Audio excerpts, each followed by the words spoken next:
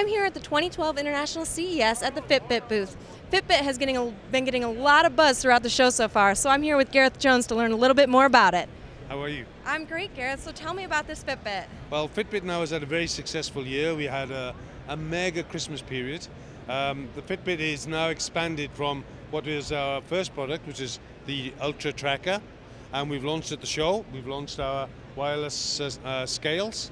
Uh, we launched that on Tuesday, uh, first at CES, and that's going to be available in April.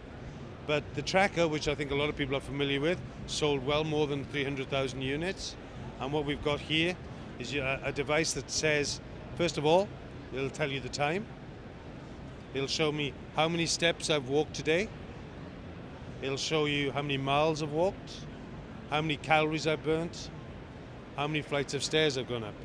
And then against my goal, my little flower is quite tall, which says I'm on a good day.